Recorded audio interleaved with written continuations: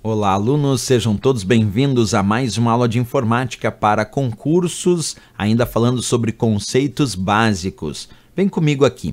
Vamos descobrir agora, pessoal, o que significa byte. Byte significa termo binário. Traduzindo, byte é uma sigla para termo binário.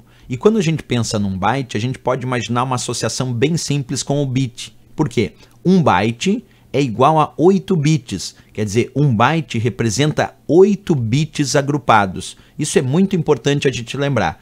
E outra dica também que eu acho bem importante é que quando a gente fala do bit, o bit é a menor unidade de informação que o computador utiliza, só pode ser 0 ou 1, um, isso é bit, né? E o bit, por ser menor, ele é representado por B minúsculo. O byte, por ser maior, ele é representado por B maiúsculo. Então, repetindo, B minúsculo representa bit e B maiúsculo representa byte. E não esquece mais, né? Nós precisamos de 8 bits agrupados para formar um byte. Então aqui nós podemos imaginar que eu estou mostrando aí na tela, observa, um processamento de 8 bits, de 8 zerinhos e uns. Quando eu conto 1, 2, 3, 4, 5, 6, 7, 8 bits que foram aqui processados, isso forma um byte. Porque quando o computador processa 8 bits e agrupa esses 8 bits, esses 8 zerinhos e uns, isso forma o que chamamos de byte. Bem importante a gente lembrar. Né? Não esquece mais também a historinha da representação abreviada. Quando eu for abreviar bit, ele vai ser representado pelo B minúsculo, e quando eu for abreviar o byte, ele vai ser representado pelo B maiúsculo. Vamos a exemplos. Se eu pegar esse pendrive aqui, percebe que aqui está 16 GB e o B aparece maiúsculo. Como o B aparece maiúsculo, é byte. Então aqui é 16 gigabytes. Isso porque o B apareceu maiúsculo e aí significa byte.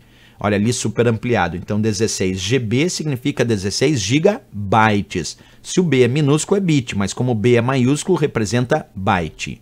Aqui eu também tenho um outro exemplo. Observa, imagina uma conexão com a internet, né?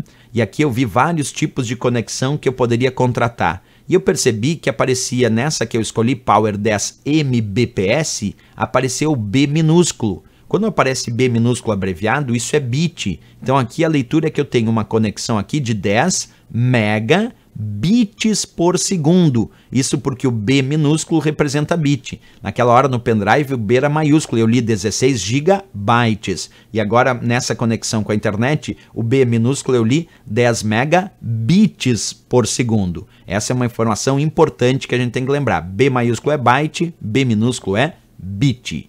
Certo, pessoal? Mais uma aula interessante aqui então, e se gostou do nosso vídeo, das nossas explicações, marca um gostei e também se inscreve aqui no nosso canal. Não esquece de deixar comentários dizendo o que está achando das aulas e ativar o sininho para receber notificações das nossas novas publicações. Valeu, espero vocês na próxima, grande abraço e bons estudos!